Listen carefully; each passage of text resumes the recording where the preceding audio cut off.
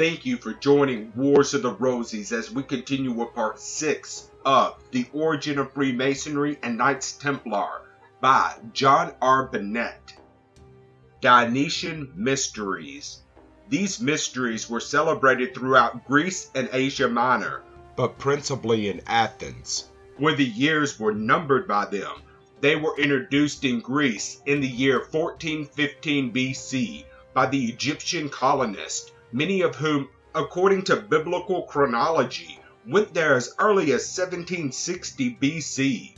These mysteries were instituted in honor of Bacchus, or as the Greeks called him, Dionysius.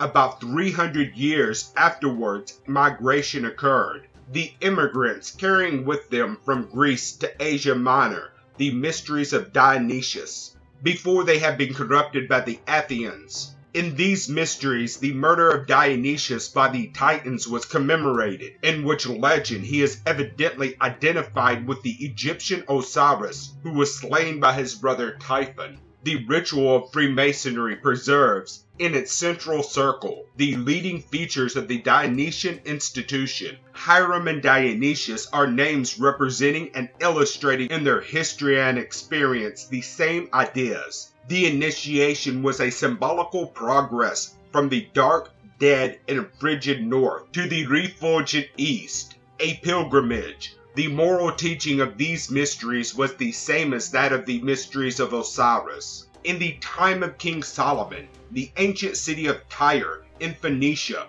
was celebrated as the residence of King Hiram, and to that monarch Solomon and his father David were greatly indebted for the assistance in the construction of the temple at Jerusalem. The inhabitants of Tyre were distinguished for their skills as artificers, especially as workers in brass and other metals, and it is said to have been the principal seat of that skillful body of architects known as the Fraternity of Dionysian Architects. The priest of Bacchus or Dionysius having devoted themselves to architectural pursuits, founded this society, which was exclusively confined to the privilege of erecting temples and other public buildings. They were linked together by the secret ties of the Dionysian mysteries, into which they all had been initiated.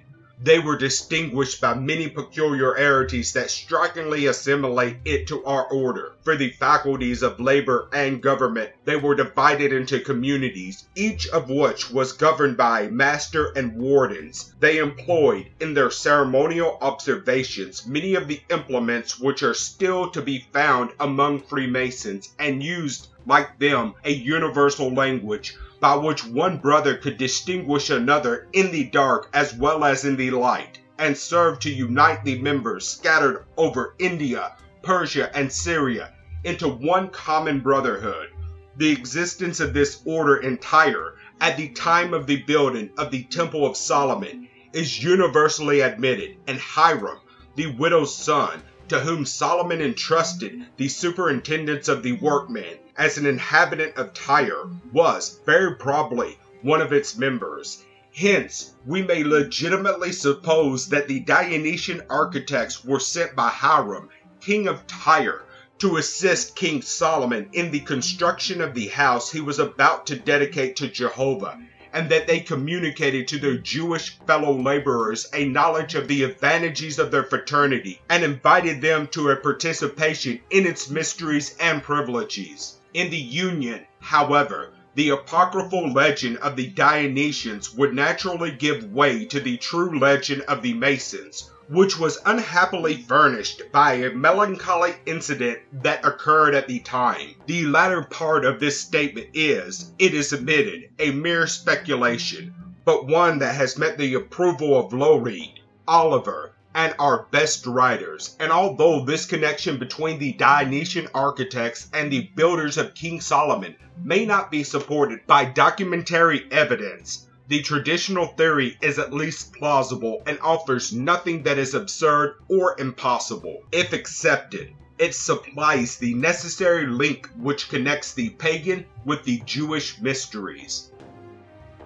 Thank you for watching and please don't forget to share, like, subscribe, and comment. And if you can, please consider donating to Wars of the Roses. Links to PayPal and Patreon are in the description. Thank you so very much.